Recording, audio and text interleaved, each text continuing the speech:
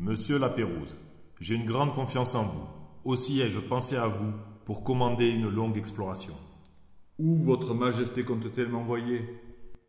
Votre expédition devra traverser l'Atlantique et gagner le Pacifique. Il s'agit d'une mission scientifique d'exploration comprenant toutes les régions et tous les domaines.